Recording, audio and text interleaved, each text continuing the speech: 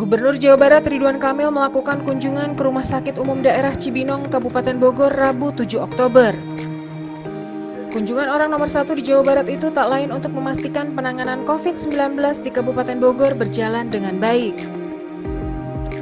Pria yang akrab disapa Kang Emil ini mengakui jika keterbatasan PCR menjadi salah satu penyebab lambannya proses tracking swab test pemerintah. Bahkan cairan khusus untuk melakukan uji spesimen juga menjadi hambatan baru yang saat ini dialami Kabupaten Bogor. Tak hanya itu, kedatangan Kang Emil juga untuk memberikan semangat kepada para tenaga kesehatan yang tengah bertugas. Bahkan Kang Emil juga meminta kepada Bupati Bogor agar menginstruksikan ke setiap rumah sakit swasta untuk ikut serta menyumbangkan 1-2 lantai kamar di setiap rumah sakit.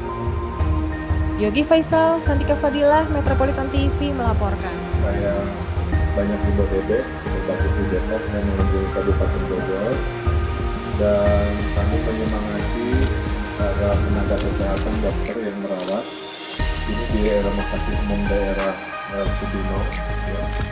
e, didapati ada beberapa kekurangan peralatan yang akan kita lengkapi jadi uh, salah satunya kekurangan reagen kita insya Allah. Kemudian juga kita tadi berbincang dengan uh, pasien COVID yang kebetulan sudah lama 19 hari tapi hari ini Alhamdulillah sembuh berkat obat ada dua jenis obat yang digunakan di sini uh, tapi juga stoknya lagi menipis mungkin juga nanti insya Allah kita karena ada sekian persen uh, dokter dan tenaga kesehatannya terpapar juga ya.